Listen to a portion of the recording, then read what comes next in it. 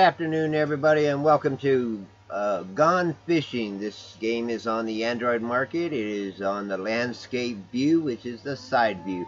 As you can see we um, have our total fish count is 18. Uh, tries that it took 25. The game is really simple to use. It is the mobile tap. You hold your finger on your device and it'll go down whether you're using a tablet or a um, cell phone it works on both.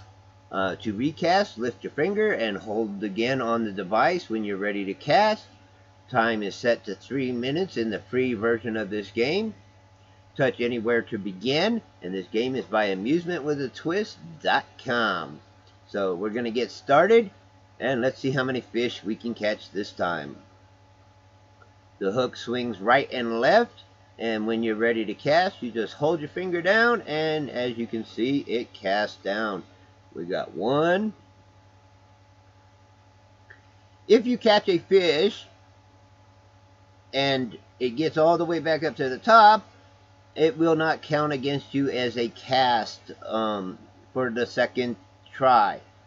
Um, so you can catch more fish in less tries as long as you hold your finger down if you lift your finger up, that counts as a try. Also, currently it catches multiple fish. If you catch a fish that's way down and there's other fish in its path on the way up, it will catch those fish also. For three minutes, let's see what we can get.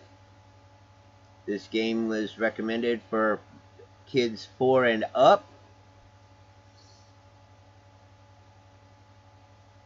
But it is really simple so anybody could use it. Like I said just simple touch anywhere on your device to cast. The hook will not go off the screen. It will stop and go back to the top.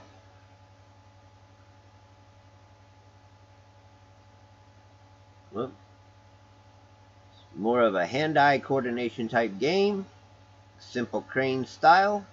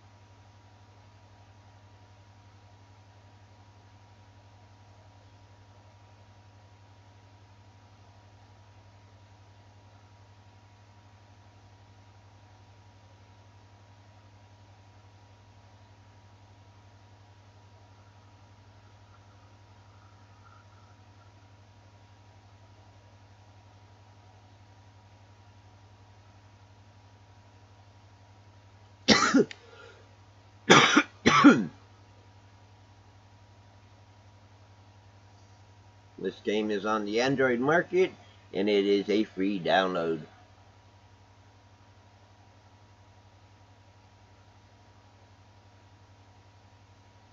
Please check the description for the link to the game.